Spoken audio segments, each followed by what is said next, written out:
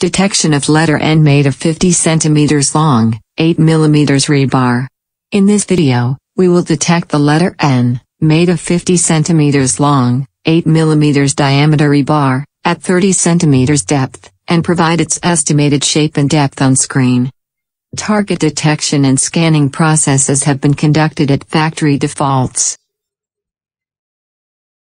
First, we detect the target.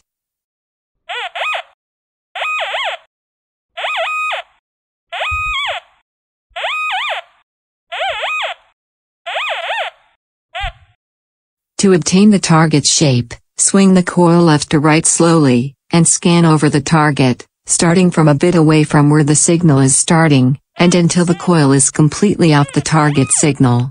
While scanning, pay attention to holding the search coil stable and parallel to the ground, and slightly overlapping each sweep with no gaps in between.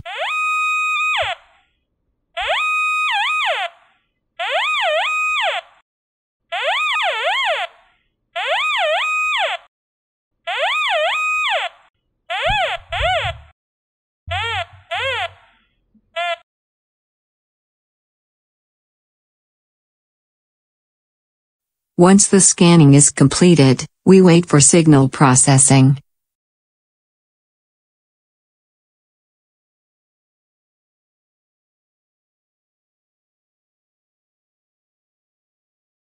As you can see, the target shape is now on screen. The length of the target appears to be about 50 centimeters.